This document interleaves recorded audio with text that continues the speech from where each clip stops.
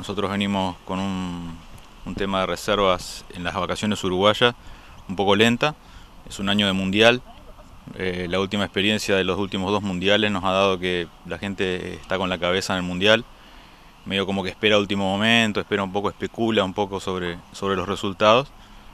Y viene lenta, pero bien, bien, venimos organizándonos bien. Tuvimos una reunión hace poco con, la asociación, eh, más o menos para ponernos a punto de cara a lo que va a ser las vacaciones de julio. Eh, tuvimos una reunión ahora que José Luis les va a comentar del tema de seguridad con, con jefatura de policía. Y la expectativa es buena, es buena. Digo, también ya se está moviendo un poco en las vacaciones argentinas, la segunda quincena de julio. Eh, un poco más lento por la coyuntura económica, pero bien, bien, bien. Puntualmente y permanentemente ustedes han manifestado diferentes reclamos a Intendencia en cuanto a limpieza, en cuanto a control y demás. ¿Ha respondido la comuna respecto a eso? Venimos trabajando, desde Carnaval que venimos trabajando con eso, eh, Semana Santa se notó, hubo una, una leve mejoría. Hay que seguir trabajando mucho por el tema de estacionamiento, es muy complicado en términos de demanda, se desborda.